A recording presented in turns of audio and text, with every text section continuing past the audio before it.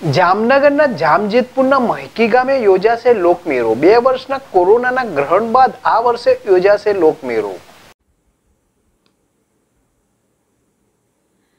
જામનગરના જામજોધપુર તાલુકાના મહિકી ગામે યોજાશે લોકમેળો. બે વર્ષના કોરોના ગ્રહણ બાદ આ વર્ષે યોજાશે જામજોધપુર તાલુકાના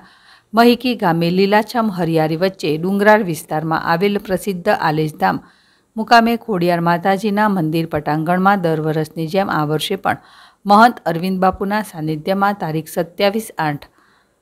શનિવારના રોજ લોકમેળાનું આયોજન કરેલ છે આ લોકમેળામાં વિવિધ કાર્યક્રમો ઉપરાંત ચકરડી ફજર ફારકા વિવિધ જાતની ખાણીપીણીના સ્ટોલ વગેરેનો આનંદ લેવા તેમજ શિવ ગુફામાં શિવના દર્શન માણવા